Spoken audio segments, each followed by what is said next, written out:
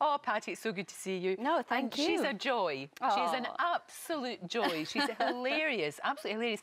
I'm worried about her though because I think she might be getting her heart broken. I think it's going to happen. Oh, Yes, she's dear. fallen in love with Brendan. I know. And I there's know. a there's a twist that you'll find out at the end of the week.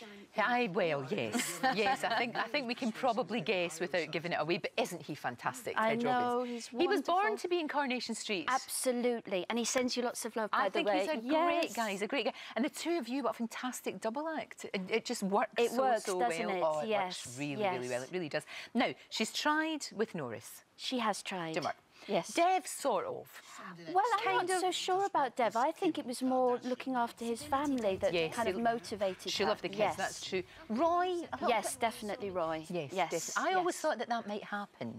Well, who knows? Ooh, who knows? Watch this space. You uh, never can tell. No, but they, they bond over chess, don't they? They, have do, very they similar do. interests. And I always thought that he might have just gone to for, for comfort. Yes, you know, yes. Friendship, true yes, friendship. Exactly. Yes. After There's nothing wrong with that. After Hayley. but she's. I mean, the thing I, thing I like about her, she's quite childish in some ways, you know? She's quite naive Yes. and she can be very stubborn. Yeah, she is very, very stubborn. Yes. She has Teflon skin. You know, she is very, very optimistic. Very little gets her down. That's She's like true. the Terminator. You know, when you hit him, he comes up again. That's Mary. does. Yes. That is Mary. Yes, absolutely. is. Terminator. Now, you really pestered bosses at Coronation Street, didn't you? 'Cause you wanted to be in that show. Well, when, when you come out of drama school many years ago, you were encouraged to write to everybody that you wanted to work for. But Right. I, I, got in, I got in carried away just for a few months and I started suggesting characters that I could play in Coronation Street. Right. It was when Raquel was in as the barmaid. Oh, yes, yes, yes. So I was suggesting that she have a half sister called Cherise who didn't say very much and just sat at the end of the Rovers bar.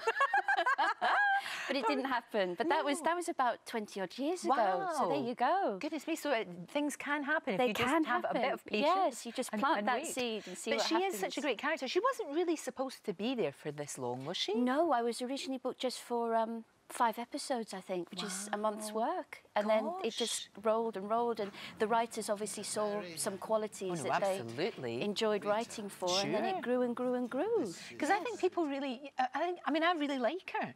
You know, sometimes she's infuriating. Yes. But I really like it. And the, the, the one-liners, Patti, the one-liners Yes. are cracking. Yes, they are very funny. They are great. I mean, they're beautifully written, but they have to be delivered as well, you know, because comic timing's a really difficult thing. It is. And especially the scenes you have with, with, with the Norris. I mean, Yes. Mm. know, especially the scenes you two of you have together.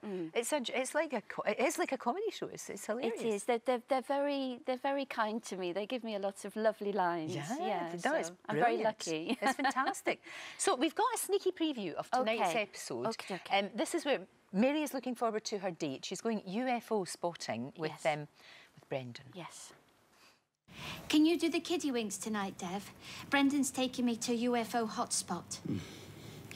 Is that like a, a euphemism, Mary? No. but even if we didn't see any UFOs, I'm sure to have a close encounter of the smoochy kind. Have you ever seen a UFO, Mary? Oh, I, I thought I saw one last Friday, sat in the car. Perfect sphere, luminous, but it was a globule of screen wash. you see, it's just brilliant. It's just absolutely brilliant.